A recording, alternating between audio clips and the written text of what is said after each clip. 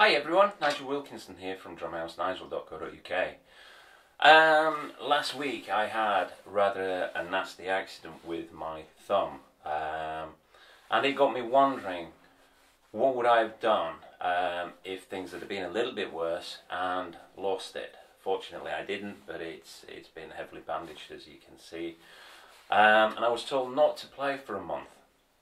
Um, now that being a drummer is not in the equation. It's just not going to happen. So I've had to develop um, a slightly different way of playing. As you know, I, I've always played traditional, but with my thumb out of action, I can no longer play in that way at this moment in time.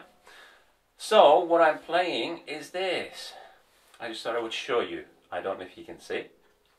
I'm putting the stick between my first finger and my second finger this fashion. And the three fingers at the back, I could show here, are the ones that's operating, these three fingers here, are the one that's operating the stick. Okay. And in order to adapt that, basically, what that's telling me is that these three fingers here, in my everyday playing, are crucial.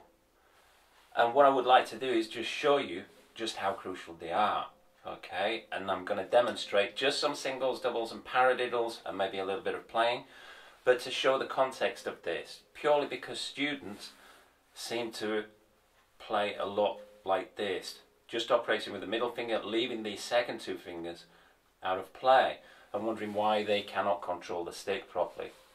This has forced me to actually use these fingers back as I was trained originally.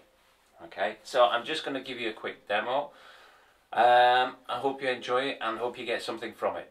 Thanks very much. Bye for now.